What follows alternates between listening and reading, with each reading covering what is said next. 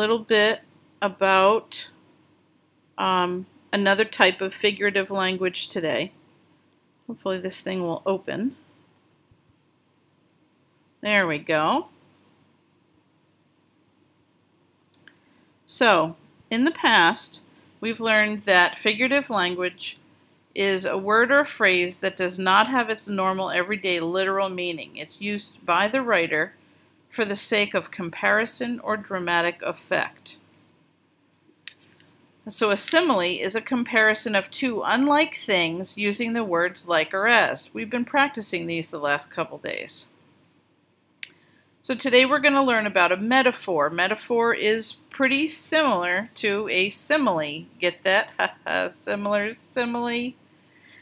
So anyway, a metaphor is also a comparison, but it doesn't use the words like or as. It will often use the words is or are. Instead of saying he is like a shining star, a metaphor says he is a shining star. Here are some examples. She has a heart of stone. That tells us that her heart isn't beating anymore. It tells us that she has no compassion for anyone. The second one says, Life is a roller coaster which everyone has to go through. Life has its ups and downs, and we have high points and low points, and that's something that everybody has to endure in their life.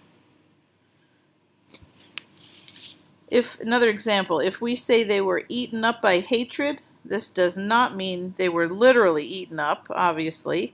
It means that their hatred was so intense that it took over their lives. So what we're going to do next is we're going to watch a quick video about similes and metaphors.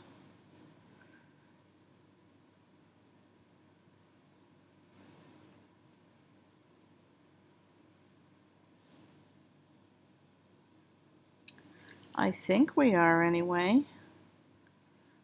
There we go.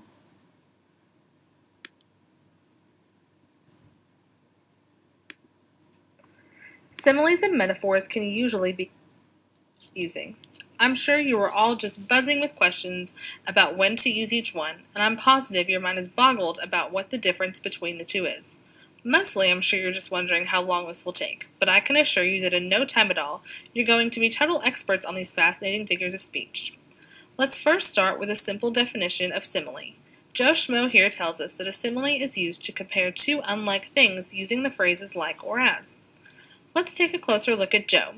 For a stick figure, he seems like a smart, good-looking guy, but let's do him some real justice and describe how we really see him.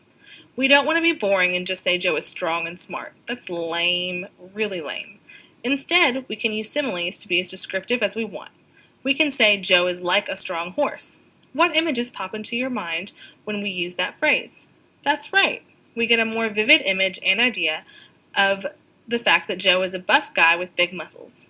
What if Joe has a really big brain and we think he is super intelligent? What can we compare him to? We could say Joe is as smart as an Einstein. This statement obviously lets us know that Joe is a serious smarty pants. Now that you've got similes down pat, let's take it up a notch and move to metaphors. Metaphors are a lot like similes, except that they compare things without using like or as. Also, metaphors make our comparisons more direct. So let's look at Joe and the horse again. Instead of saying he is like a horse, we can say Joe is a horse. What image do we get in our head?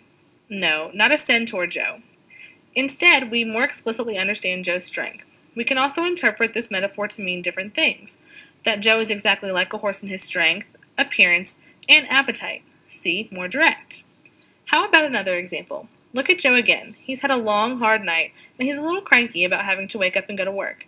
Not to mention, Joe hasn't had his coffee, so he is certainly on edge. What do we think of Joe when we say he is like a zombie in the morning? That's right, we see a tired Joe who is not to be messed with. While Joe is obviously not his usual self, we understand that Joe will eventually perk up with a bit of coffee and be back to his old self. Now what happens when we turn our simile into a metaphor? How exactly do we do that? That is exactly right. We say Joe is a zombie in the morning. This image of Joe is far more frightening and lets us know in a more direct way that Joe is nowhere near himself. This metaphor gives us the image that we need to run away, far and fast in the opposite direction. Make sure you run, and don't stop because Crazy Joe will come after you. It's a scary sight to see. So let's do a little recapping. Similes compare two or more things using like or as. A metaphor compares two things without using like or as. Which one offers a more direct comparison? That's right, metaphor. Great job, you rock stars, you. And finally, what do you do when you either see someone like a zombie or someone who is a zombie? Run. Thank you very much for viewing my project on similes and metaphors. I hope you have learned a lot about figurative language and a little something on zombie safety. So, that was quite interesting, don't you think? So what you're going to do now is the substitute is going to give you a paper about metaphors. I want you to try your best and don't forget to put your name on it and hand it into the done pile when you're finished. I will see you on Monday.